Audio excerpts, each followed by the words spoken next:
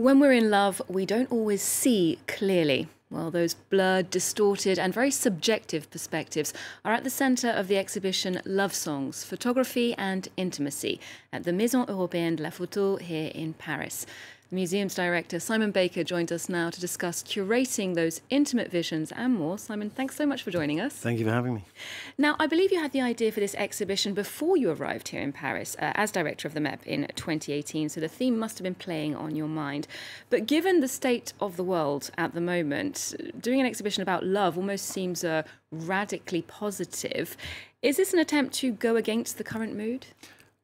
Not uh, not on purpose. Uh, we, as you say, we I had this idea a long time ago, and we had planned to do the show before the the uh, pandemic, and as the the dates all got shuffled around from replanning, it ended up that it was uh, the springtime as the things started to get a little bit better, and I I'm very happy actually that we have a show that's very positive after everything that people have been through, being isolated, being separated often from their loved ones. Um, that we have this positive take on on something which is at the same time a really important part of the history of photography. So it's a it's a let's say a universal subject, but um, a very serious um, bodies of work. Yeah. Mm, and it seems like a perfect antidote right now, indeed. Well, for those who've not yet visited the exhibition, let's get an idea of that show.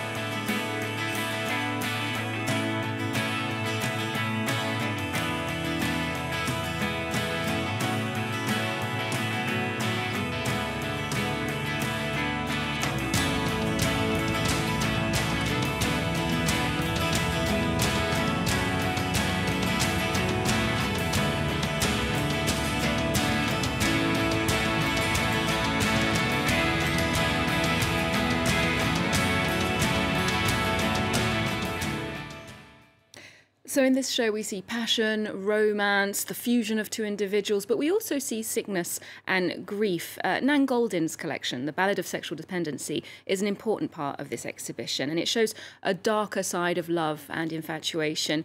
What do you think Goldin's unique perspective added to the conversation in the 1980s when her photos started to reach a wider audience? Well, Nan uh, Goldin is really at the heart of the show. Um, it was a conversation I had with her years ago doing a completely different show, and we were talking about voyeurism. And Nan said to me, not her exact words, but she's something along the lines of, How can I be a voyeur in my own life? And I had this sudden feeling that maybe it was us as viewers that, that felt uneasy sometimes at being really in the intimacy of others, and uh, that in essence it's a very brave and generous thing for an artist to do to share with us uh, times that were both happy and sad and difficult, as you say, and that really um, we can't really be voyeurs when the artists have decided and worked on a project, a body of work, a series, a book, um, an installation. They're offering it to us, and we're not voyeurs. We're we're being invited in, and I think that Nan.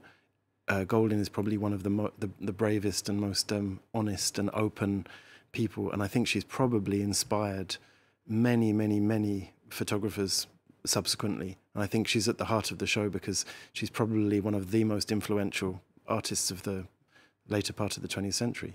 Certainly very generous, as you say. And certain photos from two different generations struck me in this exhibition as well. That of French author and photographer Hervé Guibert, whose portrait Le Fiancé is resplendent in a large format uh, print uh, in the exhibition, and the photos of the Chinese artist Lin Zhipeng, who works under the name of uh, 223.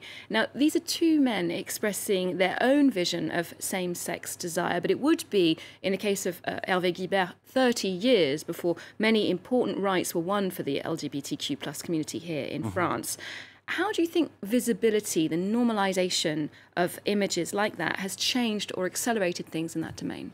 Well, one of the things about the exhibition is that we tried to be we tried to deal with diversity in all of these senses, but also to think who may have done things first and at what point they did them. And uh, Hervé Guibert, both in writing, in his sort of autofictions, and in the incredible photographs that, that we have in the in the collection at the MEP, um, he is somebody who pushed boundaries and and and um, showed a kind of, um, one could say, that a sort of normalization of same-sex desire in a very, very beautiful way. Um, Lin Zhipeng is from a different context. He's, um, uh, as you say, he's um, um, working. Well, he's working now, but he's working in China, which is also a complicated and difficult place to to, to deal with some of these questions. He's somebody who has an honest, playful, um, very very touching way of, which is both funny and sometimes very thought provoking. But he, he, his his images are they're kind of pop and they're very um, very sentimental at the same time. Yeah.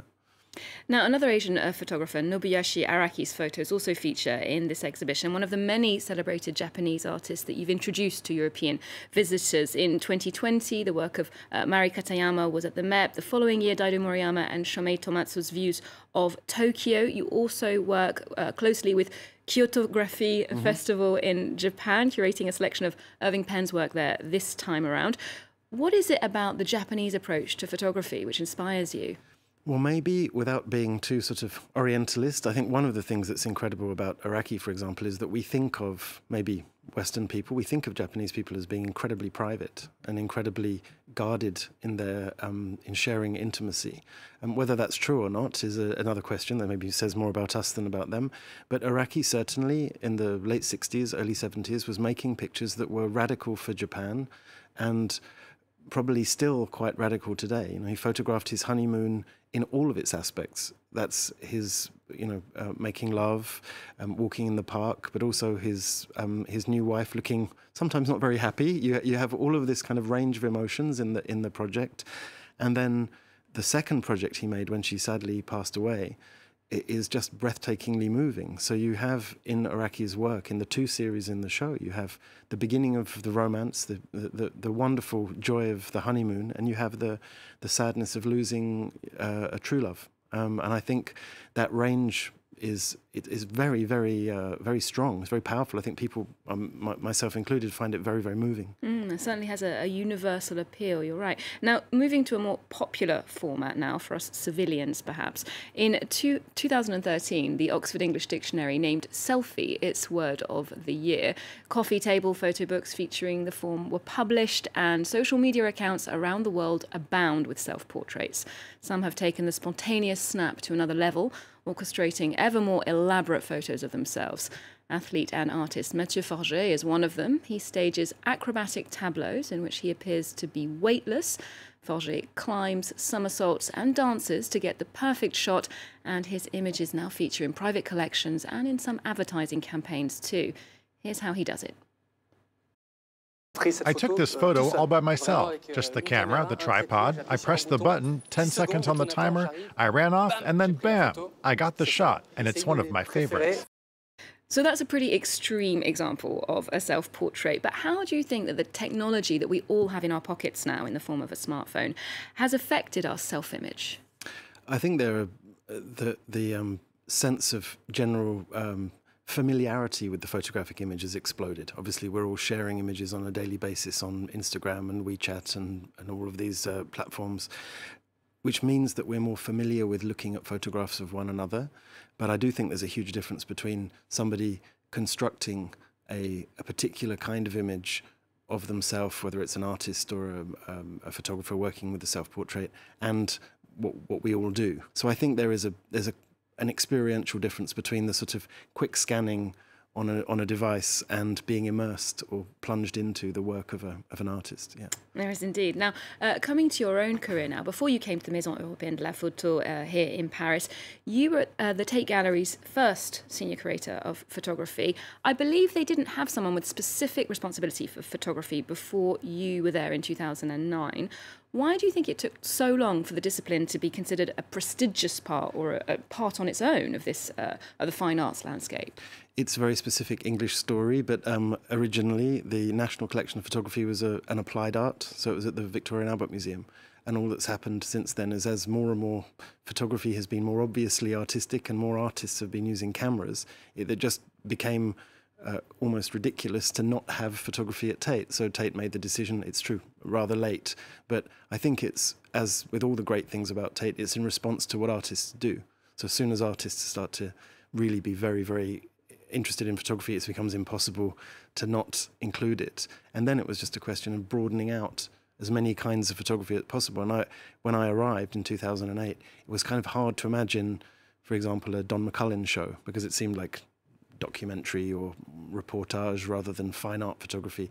Actually, it was always great and always going to be great at Tate. And the the Don McCullin show that um, I worked on there was a huge, huge success. So I think we got from A to B um, uh, relatively relatively uh, smoothly. Think. And as you say, better late than never. Now, finally, we asked you for a cultural tip, and you pointed us in the direction of something for our ears, not our eyes. The latest album from American musician Kurt Vile. What is it about this collection of songs that won you over? Uh, Kurt Vile is one of my favourite musicians uh, ever, uh, and I, li- I like all of his albums. And this is a new one that just came out. It's um, it's nice. It's uh, it's extremely um, it's extremely kind of calm, and I think we all need a bit of calm right now. Very dreamy. Thank you very much for joining us today, My Simon pleasure. Baker. Thank you. You can see the show Love Songs at the Maison Européenne de la Photo until August 21st.